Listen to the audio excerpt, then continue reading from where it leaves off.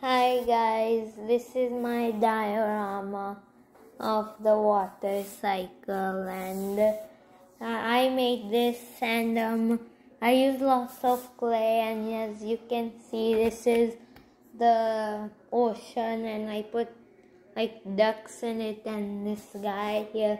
This is the soil so I put like a river, underground river.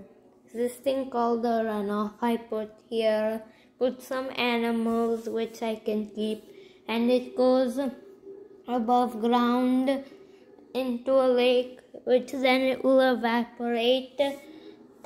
And the sun will make it condense.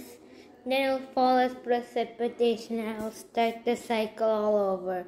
And I added a guy and I added some decorative things to make it look more real and I put transpiration as as, as these artificial leaves produce like rain and it took me like three days to create that school.